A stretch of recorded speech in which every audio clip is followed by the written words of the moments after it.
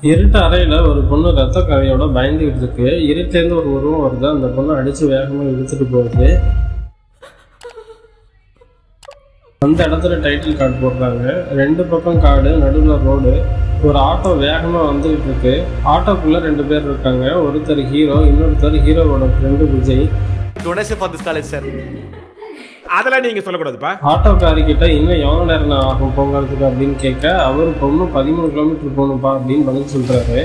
வந்து சேர்றதுக்கு எப்படியும் நைட் ஆயிட்டு இருக்குது நம்ம ஹாஸ்டல் ஃபாரஸ்ட் ஏரியாக்கு பக்கத்துல இருக்கிறது. வந்திருக்கிற இடம் இன்ஜினியரிங் காலேஜ் ஹாஸ்டல் ஹாஸ்டலுக்குள்ள ஹீரோ போனோடனே ஃப்ரெண்ட்ஸு கூட தான் மிங்கிள் ஆகிட்டு ஜன்னல் வழியா எப்படி இருக்குன்னு எட்டி பார்க்குறாரு. ஹாஸ்டல் காலேஜை சுற்றி அடர்ந்த காடு. இவங்க ஹாஸ்டலுக்கு ஆப்போசிட்டில் லேடிஸ் ஹாஸ்டலும் கூட இருக்குது காலையில் எந்திரிச்சு காலேஜ் எல்லாம் போயிட்டு ஃப்ரெண்ட்ஸு கூட ஜாலியாக சுற்றிட்டு கேண்டீனில் போய் உட்கார்றாரு அப்போ பஜ்ஜி வாங்குறதுக்கு ஒரு பெரிய கும்பல் நடிச்சுக்கிட்டு இருக்கு. அந்த கும்பலோட சேர்த்து ஹீரோயினும் இருக்காங்க. அவங்க பஜ்ஜி வாங்குற அழகை பார்த்தோன்னே ஹீரோ இம்ப்ரெஸ் ஆயிடுறாரு. ஜூனியர் பொண்ணுங்க ரொம்ப அழகா இருக்கும். பஜ்ஜி வாங்கினோன்னே ஹீரோயின் நல்லா ஸ்மெல் பண்ணி பார்த்துட்டு அதுலேயே காரி துப்புறாங்க. துப்பிட்டு தன்னை ரேகிங் பண்ண சீனியர் கிட்ட அதே பஜ்ஜி கொடுக்குறாங்க. அந்த சம்பவத்தை பார்த்தோன்னா ஹீரோ ஹீரோயின் மேல லவ்வே ஆயிடுறாரு அட்டா இருக்கும். ஹீரோ ஹீரோயினும் லவ் பண்ண ஆரம்பிச்சிடுறாங்க. படிக்கிற வேலையை விட்டுட்டு ஹீரோயின் ரூம்மெண்ட்டாக ஒரு பொண்ணு இருக்கா? அவளுக்கு வரையிறதுனா இஷ்டம். நைட் டயத்தில் த வரைஞ்சிக்கிட்டு இருக்கிறப்ப ரூமுக்கு வெளியில் ஒரு அனத்தல் சத்தம் கேட்குது என்னென்னு அந்த பொண்ணு கதவை திறந்து பார்த்தா ஆறடி உருவத்தில் ஒரு கருப்பான ஒன்று நின்றுட்டு இருக்கு. கண்ணை மூடி கண்ணை திறக்கிறதுக்குள்ள அந்த உருவம் இவளை நோக்கி வேகமாக ஓடி வருது.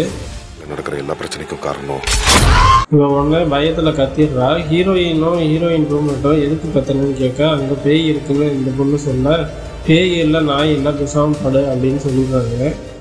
Few moments later. அதே பொண்ணு கூட்டிட்டு இருக்கிற மாடியில் துணி காய போடுறேன்னு போகுது.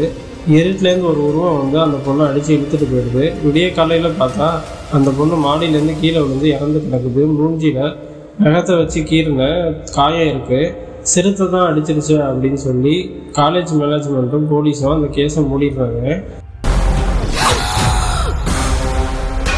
ஹீரோவை பார்க்க ஹீரோவோட சீனியர் பொண்ணு ஒன்று வருது கையில் படத்தோட.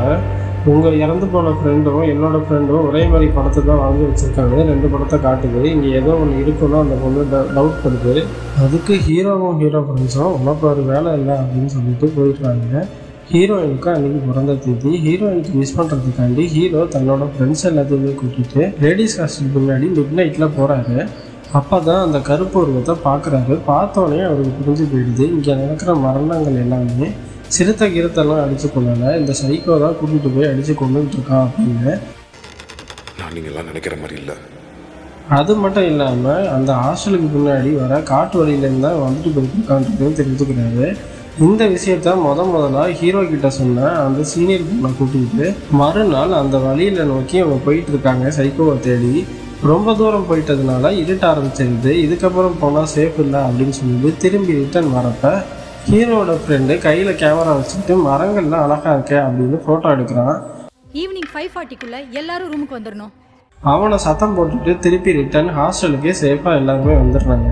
ஹீரோயின் கூட நைட்டு ஜாலியாக பேசிக்கிட்டு ஃபோட்டோ எடுத்து பார்க்குறாரு அப்போ தான் தெரியுது தன்னோட ஃப்ரெண்டு தங்களை எடுத்த ஃபோட்டோவில் பின்னாடி அந்த சைக்கோவை நின்றுட்டு இருக்காங்க. இதுக்கப்புறம் கண்டிப்பாக அந்த பொண்ணை தேடி அவன் வருவான் அப்படின்றத கரெக்டாக கெஸ் பண்ணுறாரு ஹீரோ நினச்சது மாதிரியே சைக்கோ அன்னைக்கு நைட்டே இந்த பொண்ணை தூக்கிடுறான் ஹீரோ காப்பாற்ற ட்ரை பண்ண அவரால் எதுவும் பண்ண முடியல. அவரு முன்னாடியே அந்த சீனியர் பொண்ணை கொண்டு வர்றான் அதுக்கப்புறம் தான் ஹீரோக்கு ஒரு விஷயம் தெரிய வருது. முடி அதிகமாக வச்சிருக்கிற பொண்ணு எல்லாத்தையுமே கொல்றது தான் அவன் டார்கெட் அப்படின்னு ஹீரோயினும் அந்த லிஸ்ட்ல அடுத்து இருக்காங்க. ஹீரோயினை இதுக்கப்புறம் ஹீரோ காப்பாத்தினாரா? அந்த சைக்கோவை பிடிச்சாரா? இவ்வளவு கொலைகள் நடந்து மேனேஜ்மெண்ட் கண்டுக்கிறது இல்லையே. பாதி காலேஜை காட்ட ஆக்கிரமிச்சு கட்டி வச்சிருக்கோம். அதுக்கு மேனேஜ்மெண்ட்டுக்கு ஏதாவது இதில் சம்மந்தம் இருக்கா அப்படின்றது தான் டி பிளாக் படத்தோட மீதி கதை. இந்த படம் ஒரு வித்தியாசமான முயற்சி தான். ஆனால் ஃபுல்லாக ஒர்க் அவுட் ஆகலைன்னு சொல்லணும். One time watchable